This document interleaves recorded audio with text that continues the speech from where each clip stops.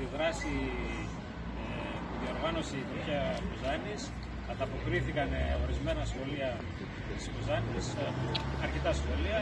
Οι μαθητές στείλαν τις ζωγραφιές. Από αυτές τις ζωγραφιές επιλέχθηκαν ε, οι δύο που περνάνε κάποιο μήνυμα οδικής ασφάλειας.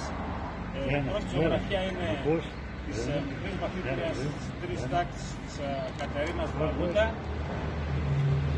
Το ποδήλατο είναι χορηγία της βιομηχανίας ε, Μαρκάτη. Κύριος ε, ιδιοκτήτης της εταιρείας παραδίδει το ποδήλατο.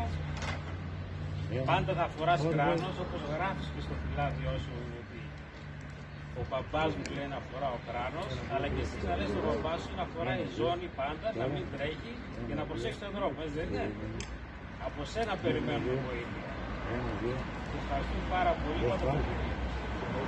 για το Ο κύριος Χρήστος εδώ πέρα, σας ευχαριστώ αν θέλεις. Άφησε το λίγο. Η δεύτερη ζωγραφιά είναι της uh, μαθήτριας της uh, έξι, τα- ε, έκτης τάξης του 10ου Δημοτικού Σχολείου της uh, Χρήστας Αργυροπούλου και αυτή ανταποκρίθηκε με μια πάρα πολύ ωραία ζωγραφιά.